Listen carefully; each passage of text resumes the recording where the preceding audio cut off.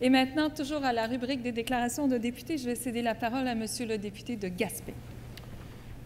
Madame la Présidente, je tiens aujourd'hui à féliciter Madame Marie-Pierre Arthur, gagnante du prix Album de l'année Adulte contemporain au dernier gala de la disque pour son plus récent album intitulé Si l'aurore. Un premier Félix pour cette jeune gaspésienne d'origine.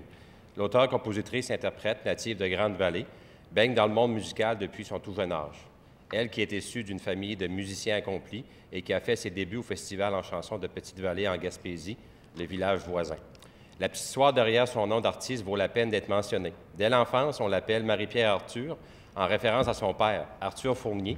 Comme le patronyme Fournier est courant dans son village natal de Grande-Vallée, il est plus simple de la surnommer ainsi. Marie-Pierre Arthur accompagnera d'abord de nombreux artistes québécois avant de présenter son premier album solo éponyme en 2009 et de récidiver en 2012 avec Aux Alentours, un projet qui sera maintes fois primé. Cette même année, elle recevra le prix Félix Leclerc de la chanson, soulignant l'excellence d'une jeune auteure-compositeur-interprète québécoise dans le cadre des Francopholies.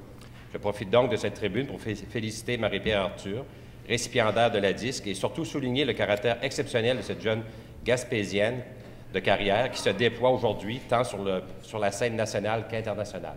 Merci. Merci, Monsieur le député de Gaspé.